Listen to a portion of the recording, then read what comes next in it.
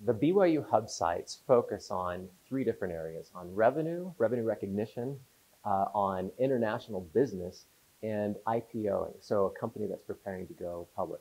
And the purpose of all of these hub sites is to give students the opportunity to research and write about these topics in a way that practitioners will want to read them.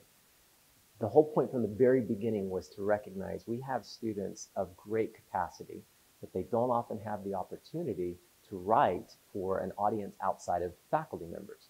Giving them this chance to talk with practitioners, work closely with alumni, as well as faculty to determine what to write about, how to target the audience better, how to write about things people really care about, has helped them develop a sense of how to serve better.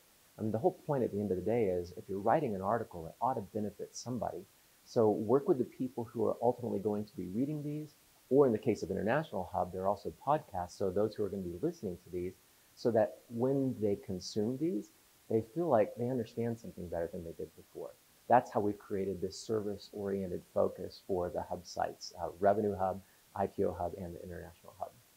You know, we have a motto at BYU, uh, enter to learn, go forth to serve. And so often we've seen those as two separate events. Enter to learn, get all the learning that you can, and then when you're done and you graduate, go serve.